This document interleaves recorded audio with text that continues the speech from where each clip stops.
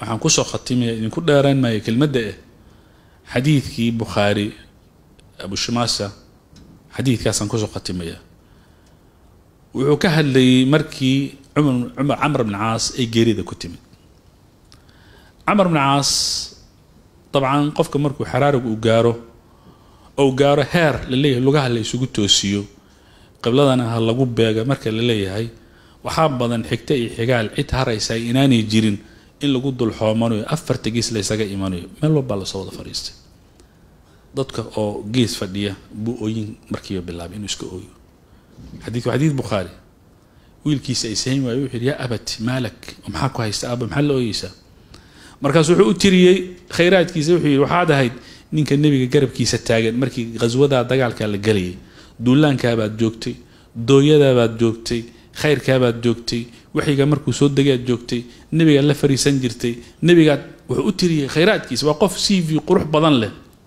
Markii intaa loo tiriyey wuxuu rabaa marka ujeedadiisa waxay tahay inuu dejiyo aabbaha uu yidhaahdo aabba waxaad ka walwashid ma jiraane khayr baa kaa horreeya iska bishaaraysa aamus.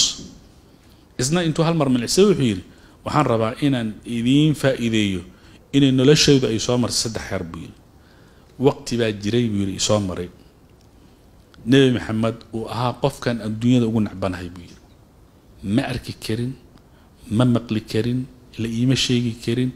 Wuxuu yidhi waxaan goobayay intaa inaan maalin uun jaanis ku helo kadibna aan saan doono ka yeela buu yidhi. Intaan ku samayn kara inaan ku samay inaan dilo. Wuxuu yidhi marxaladdii iyada ahay tagtay idaa dahaba alximaaru bicumri camrin falaa rajacat walaa rajaca alximaaru tagtay buu yidhi. Marxalada iyada tagtay walla ilahay wuxuu qadaray buu yidhi marxalada iyada ah waxaan hubaa buu yidhi kurhiga ama nacaybka nebiga aan u qabo. Haddaan ku dhiman laha in ahlu naar ah ilan qof nebiga nebi maxamed nacay miyaa janno ka horeysa waan hubaa buu yidhi in ahlu naar ah. Waqtiga haddaan saa ku dhiman lahaa.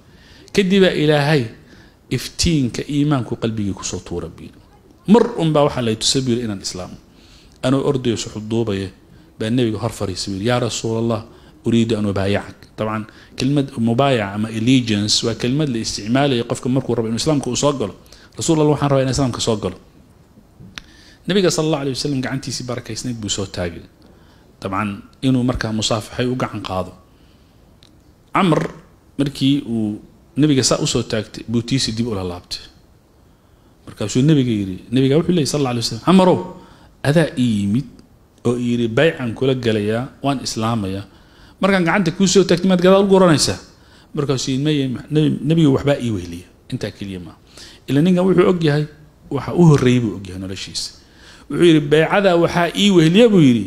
Waxaan rabaa dunuubtaydii tagtay in la dhaafo. Halkaa marka wuxuu si dadban oo seelan u tilmaamayaa dembigii ahaa kurhiga nabiga sal ly slm qalbigiisa ka buuxa. Waxaan rabaa in la tirtira buu yidhi. Markaasuu nabiga sal ly slam yaa camar miyaadan ogeyn buu yidhi. Islaamka wixii ka horreeyey inuu burburiyo. Miyaadan ogeyn. Hijradu wixii ka horreeyey inay tirtirto miyaadan ogeyn xajka wixii ka horreeyey inuu tirtiro qofkii hadda soo xaji xalay dhalay inuu noqonayo hadduu soo islaamin xalay dhalay noqonayo markuu hijrooda xalay dhalay noqonayo miyaadan ogeyn? Intaa markuu yidhi kadib buu wuxuu yidhi nabiga sal alay waslam baycadii baan la galay. Wuxuu laga bilaabo waqtiga. Nebiga wuxuu yidhi dadka qofka aan ugu jeclahay buu yidhi ardada ilaahay. Heer waxaan gaaray buu yidhi maanta haddaad i weydiiso. Ay dhahay nebi maxamed suu ekaa inaanan kuu sifayn karin buu yidhi. Yacni xishood aan ka xishoonayo iyo jacaylka aan u qaba darteed xitaa nebiga kama ina buuxsan jiran buu yidhi. Ma sifayn kara nebi maxamed suu u muuqday ma sheegi kara buu yidhi. Xataa hoos baan eegi jiray buu yidhi jacaylka nebiga aan u qaba yidhi sal alay wasalam waxaan hubaabi marxaladda haddaan saa ku dhiman lahaana in ahlu janno noqon lahaa. Ilan qalbigiisa maxaa ku jira? Waxaa ku jira alislaam waxaa ku jira xubu nabiyi sal ly slm waxaa ku jira nuur laba marxalad buu maraya. Wuxuu yidhi marxalad kale ka dambaysay buu yidhi.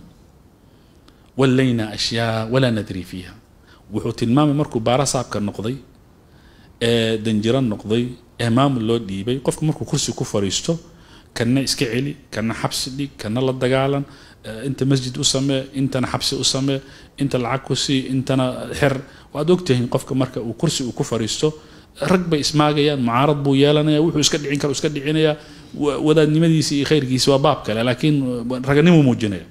Wuxuu yidhi marxaladda iyada marxala waxaan ku magacaabi karaa buu yidhi isku dhafan ah oo marxalada ilahay uu leeyahy khalatuu camalan saalixan wa aakhara sayi'a waxay isku dheeheen oo isku dhafeen.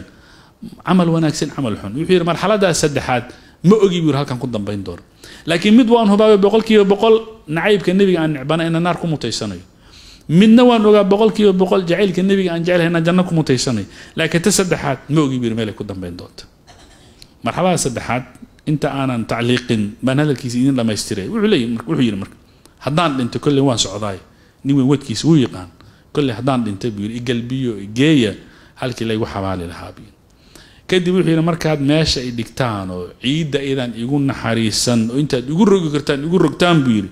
Waxaa idinka codsanaya buu yidhi inaad an tamkuthu cinda qabrii qadara maa tunxaru juzuurun fayuqasamu laxmuha. Waxaan rabaa buu yidhi inta marka iilka lay dhigo xabaasha lay dhigo nagaada intii neef geela laga gowracayo hilibkiisa laga qaybino meesha dabcan ma jirin in la dhaho twenty minutes iyo one hour iyo waxaasoo dhan ma jirin. Lakin waxaa lagu qiyaasan jiray yani inta neefka marka laga gowracayo kadib hilibkiisa la qaybinay muddo go-an bahay wuxuu yidhi waxaan rabaa buu yidhi inaan idin weheshado marka su'aalaha igu bilaabanayaan. Wuxuu kaloo ka dardaarmuu yidhi falaa tatbacnii naa'ixa. Inta marka qabriga laii sidana haweenay iyadu barooranaysana yaana iraacin dabna yaan layga daba qaadin buu yidhi. Dabna yaan layga daba qaadin. Dardaarankaabuu ka tegey isagoo og inuu meeshaan uu ka tegi doono adduunyadii halkaana waa tii sida marka dardaaranka ay u fuliyeen. Waxaan rabaa marka saddexda marxalood waxaan ka qaadanaynaa xadiidkaas kow. Qofka muuminka inuu noqdo qof noloshiisa la socdo. Inaad isweydiiso dhahdid wadankan baad timid intaadan imanin maxaad ahayd? Waxaan imid anoo safiina salaad ka aqaan anoo shanta salaadood tukanaya anoo juscamahayga tuurta anoo qaraabada xiriiriya anoo wanaagga qabanaya okay toban sano kadib markaad meesha ku nagaato baasboorka qaadatay maxaa dhacay? Owlaaddii baa badatay kadibna sadaqadii way yaraatay kadibna qur'aankii uu istirtiray kadibna jamaacadii baan ka luga jiiday. Qofku inuu isweydiiyo maxaa wuxuu og yahay boqolkiiba boqol initial stage of his life in uu xaalad xun ku jiray. Way u muuqataa marxaladii labaad way u muuqataa waxa uu ku sugnaa wa khayra marxaladii saddexaadna waa marxalada saddexaad uu tilmaam camr bn caas waa tan inagoo dhanba aan ku suganna. Maxaa yeele waxaana soo maray maalmo ilaahay aan raadi gelinay iyo maalmaan ilaahay ka caraysiinay. Waxaana soo maray maalmo ilaahay uu inagu qoray buugga wanaagsan iyo maalmo buugga xun aan ku qoranna. Maalmo aanu buuxinay sijiinka iyo maalmo aan ciliyiinka aanu joogin maalmo waxaana soo maray wasiiqa aladiina taqow aan ahayn wasiiqa aladiina kafaruu ilahay baan ka mangelaya laakiin dad liita inaan nahay. Wayna soo martay maraaxil kala duwan baana soo maray. Marxalada iyada ah waa marxalada walwalka iyo walbahaarka ka muujiyey. Uu leeyahay kolley waan sii socdaaye.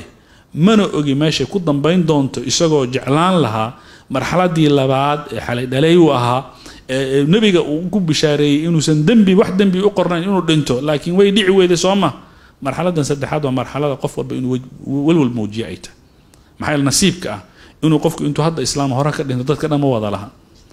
Dadka dhan ma wada laha. Laakiin inagoo dhanba ilahay saa nooma abuurin.